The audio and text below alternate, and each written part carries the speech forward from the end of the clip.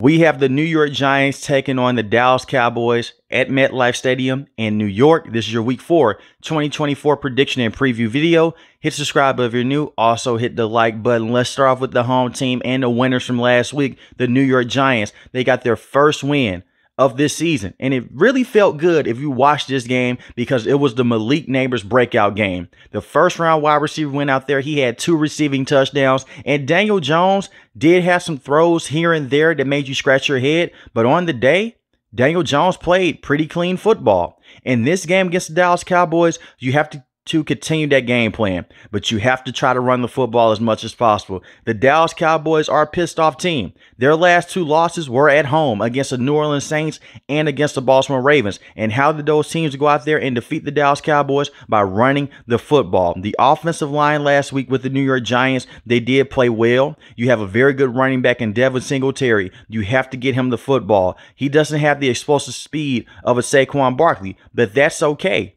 He has good enough speed to go out there and help out a guy like Daniel Jones. As long as the offensive line can go out there and they can solely take out Micah Parsons, I believe the New York Giants can control the line of scrimmage and they can take a lot of pressure off of Daniel Jones. But he has to be more consistent with his accuracy and get him outside the pocket as well. Last week, Devin Singletary had 16 carries for 65 rushing yards. That's four yards a carry and one rushing touchdown. it, it is to note that he had one run that went for 43 yards. He has to be more consistent there, and the offensive line has to be consistent as well.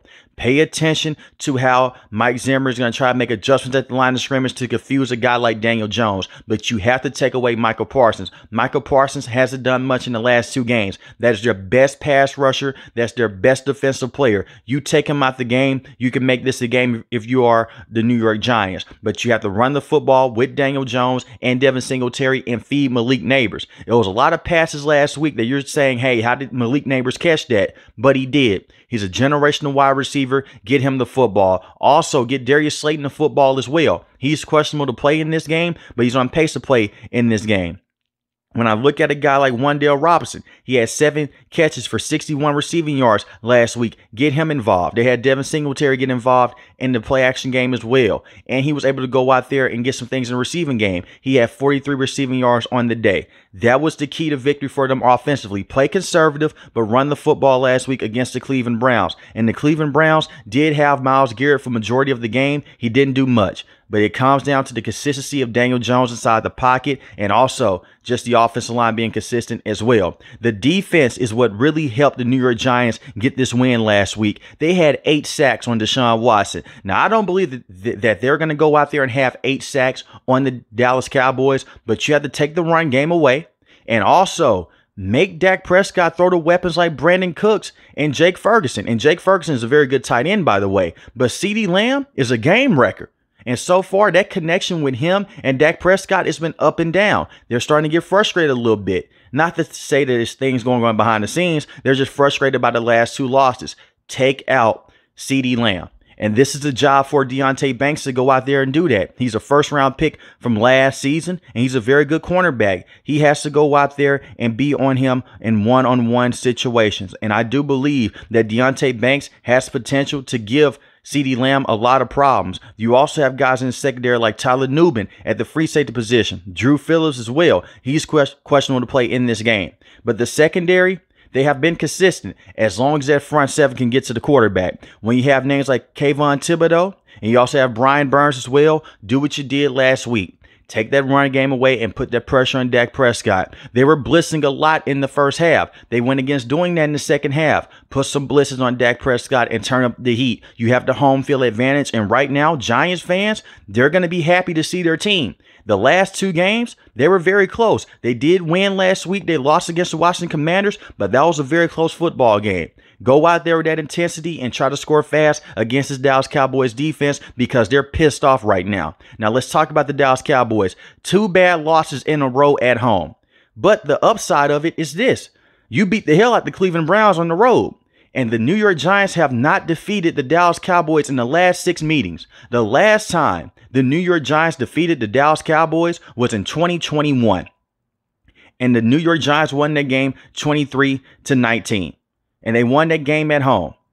You have to get the run game going. Rico, Ezekiel Elliott, or Deuce Vaughn, they have not been able to run the football consistently. Look at what happened in week one against the Cleveland Browns. When the Dallas Cowboys was able to run the football, it put pressure off of Dak Prescott. He should not have over 50 pass attempts in this game. Last week, they were trying to get Dak Prescott to get them back into the game, and it almost worked. But you did not start off hot. You started off too slow. You have to go out there, try to control the line of scrimmage with the pieces you have. You don't want Dak Prescott to get into a situation to where he's trying to play from behind. Then the run game doesn't even matter at that point. Dak Prescott on the day was 28 of 51 for 379 passing yards, two passing touchdowns. Dak Prescott was not the reason why they lost his football game last week. The reason why they lost this game, they could not run the football and they could not stop the run. The offensive line has to get a push up front, and Mike McCarthy has to go out there and be patient with this run game with Ezekiel Elliott and with Rico as well. Ezekiel Elliott is not the same running back that he was four to five years ago. We all understand that. But Rico has that juice. Do some outside zone plays with him. Do some inside rushing plays with Ezekiel Elliott. And if it doesn't work early in the game, continue to do it. You can lean on Dak Prescott. He is your franchise quarterback quarterback. You made him the highest paid quarterback in the NFL for a reason, but you have to get the guys around him to play better, especially up front. CeeDee Lamb is a true number one wide receiver. He has been good in the last three games, but Brandin Cooks has to step up. And we saw some of this last season as well. He didn't really get going until they went against the Los Angeles Rams. And at that time, he had two receiving touchdowns in that game. Brandin Cooks has to be better and he has to be more consistent moving forward. Jake Ferguson, did miss some time after that Cleveland Browns injury.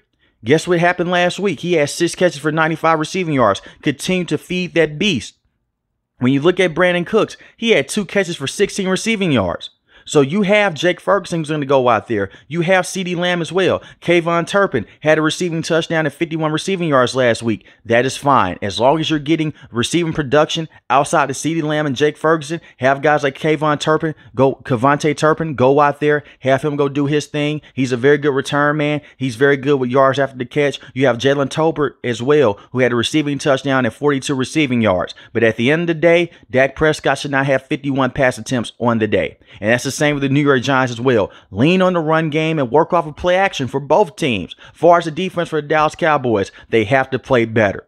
Go out there, take away Malik Nabers. This is a Trevon Diggs game. Trevon Diggs has been the best cornerback with the Dallas Cowboys when he's been 100% healthy. They're missing DaRon Bland. He's expected to come back in the next month or so as he's recovering from that foot injury. But Trevon Diggs has to go out there and he has to have one of his better games against Malik Nabers. I can't stress this enough. That kid is a generational talent, and the same with CeeDee Lamb as well. These cornerbacks, they better be on the on their A game in this game. But take away Malik Nabers and make guys like Darius Slayton and Theo Jackson go out there and beat you. The wide receivers with the New York Giants, they're solid. But when you take away Malik Nabers, they're not one of the best receiving corps in the NFL. And put that pressure on Daniel Jones. Micah Parsons hasn't done much in the last two games. And he's a top defensive player in the NFL. He has to go out there and walk away with a sack or two. Put that pressure on him. Demarcus Lawrence is questionable to play in this game, and that's fine. As long as you go out there, control the line of scrimmage, stop the run, and make Daniel Jones beat you. Look at what has happened in the past when the Dallas Cowboys have played that fast-paced defense against the New York Giants. It worked into their favor. Play press man coverage, put bracket coverage on on Malik Nabers, and the front seven has to go out there and do their jobs and put a lot of pressure on Daniel Jones. I also look at a guy like Eric Kendricks, had a phenomenal week one outing against the Cleveland Browns. Hasn't done much since then. He needs to be better. Damone Clark as well. And Mazi Smith, they need to step up and stop the run. This is an arch nemesis of theirs in this division. So far, they have owned the New York Giants over the last couple of matchups. Continue to play physical and continue to play fast. With that being said, I do have the Dallas Cowboys winning this game. I think they bounce back in a good way. I have the Dallas Cowboys winning this game 28 to 17. But let me know in the comment section below who do you have winning this game? The Dallas Cowboys or the New York Giants? If you're new to the channel, hit the subscribe button. If you like the video, hit the like button. Most importantly, when each and every last one of you guys stay safe, stay positive. Thanks for watching the video, guys. God bless. Peace.